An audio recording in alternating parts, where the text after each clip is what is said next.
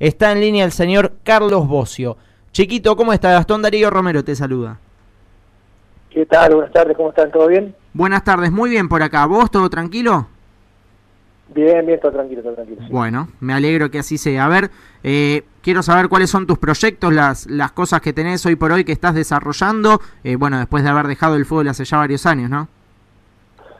Sí, sí, la verdad que dejamos en 2013 y bueno, ahora estamos un poco alejados de lo que es el, el rectángulo verde, eh, no estoy con nada relacionado con el fútbol, estamos con una empresa, una empresa familiar, así que solamente el fútbol por televisión.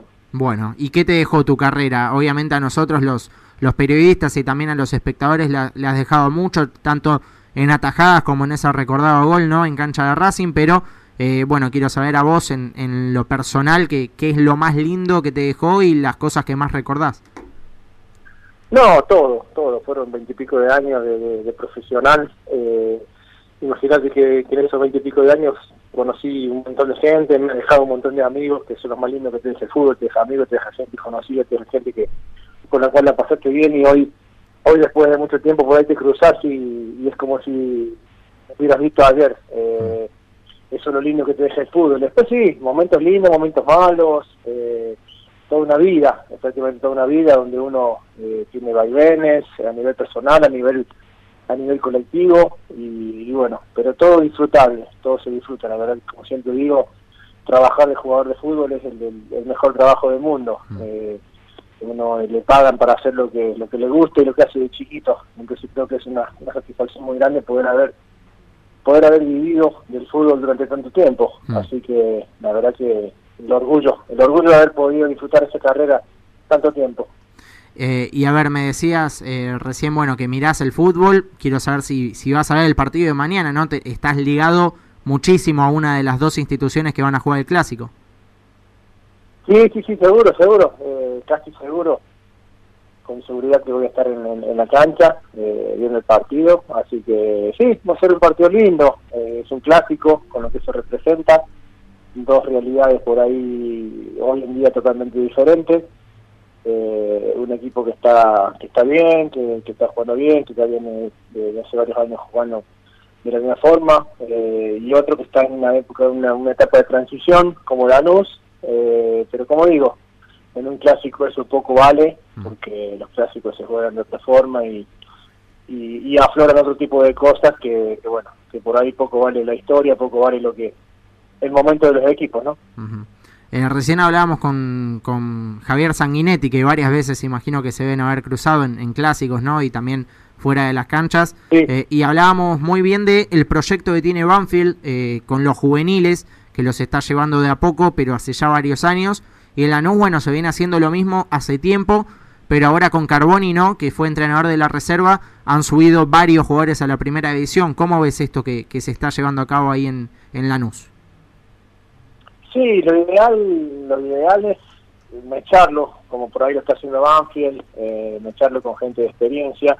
Lanús por ahí eh, tuvo que hacer un proceso un poco más rápido, tuvo que meter a muchos de entrada sí. porque que fueron jugadores importantes, jugadores que, que son parte de la historia del club, jugadores que le dieron mucho y bueno, y, y hubo que echar mano de, de, los chicos y prácticamente tirarlos todo a la cancha.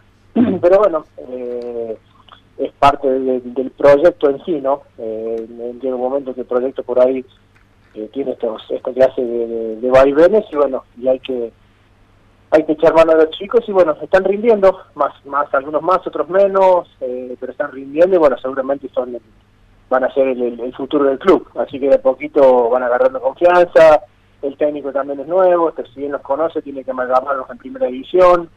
O sea, es un proceso que del cual eh, obviamente que estaría bueno que los resultados acompañen porque eso te da una tranquilidad. Pero bueno, no hay que perder de, de vista cuál es el horizonte, que justamente el horizonte es continuar con el proyecto. Sí, sin lugar a dudas. Eh, bueno, la última que te hago porque lamentablemente se nos termina el programa y ojalá que en algún otro día sí. podamos volver a hablar con vos.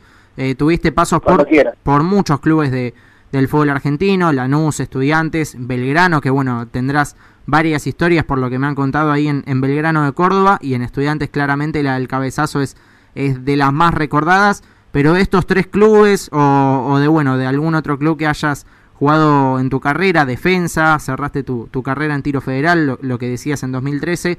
¿Cuál fue el que más te marcó o, donde te quedaste con un mejor recuerdo vos? No, obviamente que el que más me marcó es Belgrano, porque es el club del que soy hincha de chiquito y, haber podido llegar a jugar en, el club del que soy hincha y, vestir la camiseta y, hacerlo aparte del profesionalismo con, con el corazón obviamente que son cosas que te quedan marcadas. Eh, por eso siempre elijo mi, paso por Belgrano como, como una de las mejores cosas que me pasó en el, en el fútbol.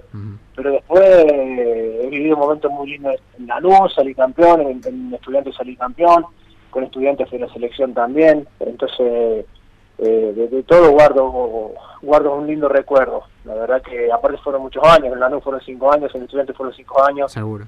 Entonces uno como que que siente que, su corazoncito también está en esos en esos clubes, ¿no? Porque son clubes importantes que, que también me formaron como persona. Mm, seguro que sí, chiquito. Gracias por tu tiempo otra vez. Será hasta la próxima. Ojalá podamos hablar más minutos con vos.